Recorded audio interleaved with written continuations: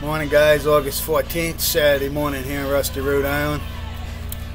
So, uh, got the ventilation blowing everything, taking that smell out the back door, so we'll go out the front. So, it's uh, time to put some primer on the tailgate. I had some of that uh, ship primer left over.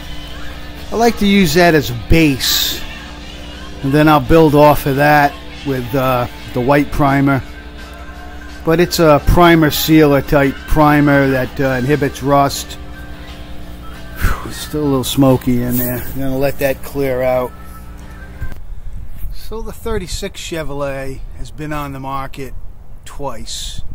I put it up for about six to eight weeks and I take it down. Then I put it up again. That way I make sure I stay up on top of the ads. Otherwise you end up getting buried in the bottom of the stack. But if you refresh your ad, but I'm not getting uh, the type of attention I thought I might get. I had one guy out of Maine that really wanted it, but I guess just the distance of travel, and I told him he could drive the thing home. I let him use the license plates, and but uh, come on, Lucky. So I'm thinking now about doing a Texaco truck, the Texaco Star. I'm thinking about taking and sanding it down and putting the Texaco colors on it. Similar to what I did with the Gulf truck. With the, uh, it'd be a Texaco service truck. 36, I use those colors. So it would be a Texaco red.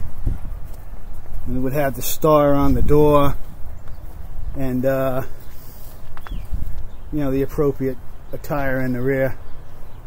I'm also thinking on these fenders that I'm going to take some metal and I'm going to go straight across with it and uh, redo these fenders a little bit to try to match the front fenders. You can see how I attached the front fenders straight across.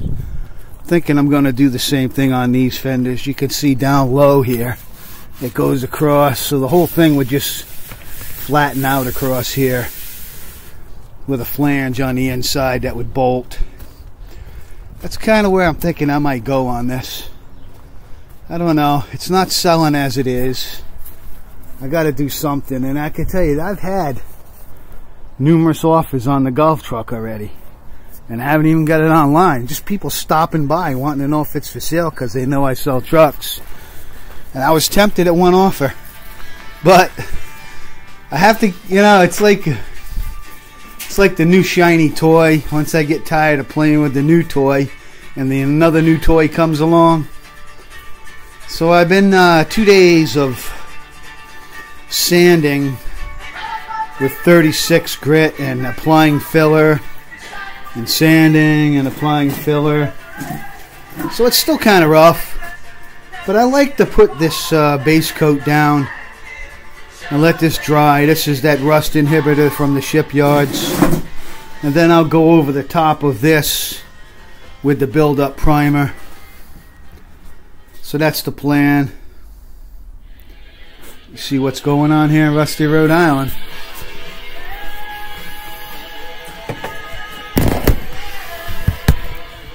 To paint the uh, 36 I'm not gonna go out and spend a lot of money. I'm gonna it's gonna be basically the same thing I always do with the mixture of Rust-Oleum paint, thin it with gasoline.